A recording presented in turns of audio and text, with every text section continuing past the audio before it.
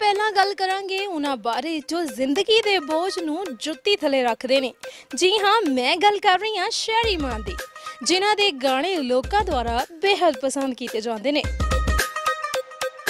ਦੱਸ ਦੇਵਾਂ ਕਿ ਸ਼ਹਿਰੀ ਮਾਨ ਦਾ ਗਾਣਾ ਤਿੰਨ ਪੈਗ ਲੋਕਾਂ ਨੇ ਕਾਫੀ ਪਸੰਦ ਕੀਤਾ ਸੀ। ਕੇ ਨੀ ਲਾ ਕੇ ਤਿੰਨ ਪੈਗ ਬੱਲੀਏ ਪੈਂਦੇ ਪੰਗੜੇ ਗੱਦੀ ਦੀ ਡਿੱਗੀ ਖੋਲ ਕੇ।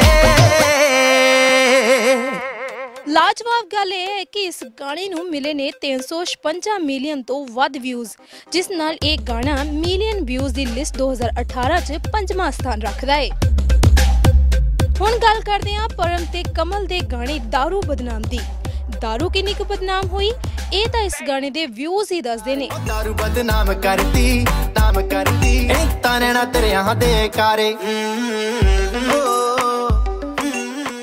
ਦੱਸ ਦੇਵਾਂ ਕਿ ਇਹ ਗਾਣਾ 453 ਮਿਲੀਅਨ ਤੋਂ ਵੱਧ ਵਿਊਜ਼ ਲੈ ਕੇ ਮਿਲੀਅਨ ਵਿਊਜ਼ 2018 ਦੀ ਲਿਸਟ ਵਿੱਚ ਚੌਥਾ ਥਾਂ ਲੈਂਦਾ ਹੈ ਨੰਬਰ 3 ਤੇ ਥਾਂ ਲਈ ਹੈ ਹਾਈ ਰੇਟਡ ਗਾਣੇ। ਹਾਈ ਰੇਟਡ ਗੱਭਰੂ ਨੇ ਦੱਸ ਦੇਵਾਂ ਕਿ ਇਸ ਗਾਣੇ ਨੂੰ YouTube ਤੇ ਮਿਲੇ ਨੇ 665 ਮਿਲੀਅਨ ਤੋਂ ਵੱਧ ਵਿਊਜ਼ ਇੰਨੇ ਵਿਊਜ਼ ਤਾਂ ਬਣਦੇ ਹੀ ਸੀ ਕਿਉਂਕਿ ਇਸ ਗਾਣੇ ਨੂੰ 뮤직 ਲਵਰ ਗੁਰੂ ਰੰਧਾਵਾ ਨੇ ਖੁਦ ਲਿਖਿਆ, ਗਾਇਆ ਤੇ ਖੁਦ ਹੀ ਕੰਪੋਜ਼ ਕੀਤਾ ਹੈ ਮਾਰੇ ਹਾਈ ਹਾਏ ਨਖਰਾ ਤੇਰਾ ਨੀ।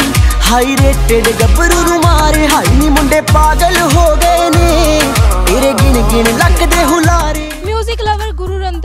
ਇੱਕ ਹੋਰ ਗਾਣਾ ਜੋ ਕਿ ਇਸ ਲਿਸਟ ਵਿੱਚ ਆਪਣੀ ਜਗ੍ਹਾ ਬਣਾ ਪਾਇਆ ਹੈ ਜੀ ਹਾਂ ਉਹ ਗਾਣਾ ਹੈ ਲਾਹੌਰ ਜੋ ਕਿ 700 ਮਿਲੀਅਨ ਤੋਂ ਵੱਧ ਵਿਊਜ਼ ਲੈ ਕੇ ਇਸ ਲਿਸਟ ਵਿੱਚ ਪਹੁੰਚ ਗਿਆ ਹੈ ਨੰਬਰ 2 ਤੇ। ਕੁੜੀ ਦਾ ਪਤਾ ਕਰੋ ਕਿਹੜੇ ਪਿੰਡ ਦੀ ਆ ਕਿਹੜੇ ਸ਼ਹਿਰ ਦੀ ਆ। ਉਹ ਲੱਗਦੀ ਪੰਜਾਬ ਦੀ ਆ ਉਹ ਲੱਗਦੀ ਲਾਹੌਰ ਦੀ ਆ। ਮਿਲੀਅਨ ਵਿਊਜ਼ 2018 ਦੀ ਲਿਸਟ 'ਚ ਪਹਿਲੇ ਨੰਬਰ ਤੇ ਗਾਣਾ ਹੈ ਲੌਂਗ ਲਾਚੀ ਜਿਸ ਨੂੰ 736 ਮਿਲੀਅਨ ਤੋਂ ਵੱਧ ਵਿਊਜ਼ ਮਿਲੇ ਨੇ।